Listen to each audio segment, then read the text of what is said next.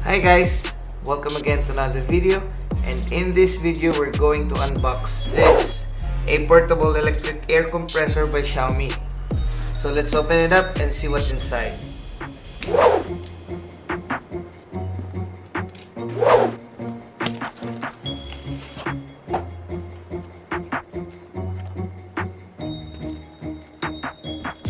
Here are the things inside the box. Manuals, the charging cable, two adapters, a soft pouch, and the electric air compressor itself. So let's charge it up and try it to my M365 Pro electric scooter. So let's try it up. You can turn it on by simply pulling the left side or with the red ring.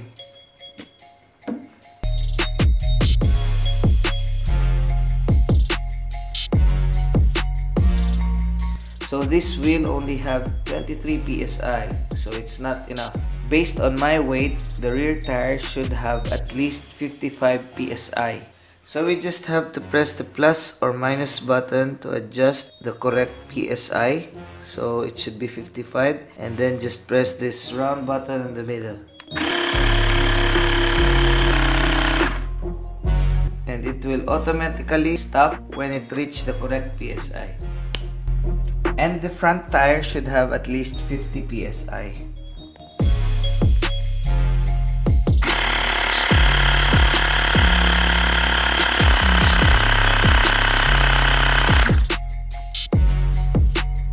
Hope you enjoyed the unboxing video and if you're new to this channel, don't forget to ring the notification bell, hit the like button and subscribe.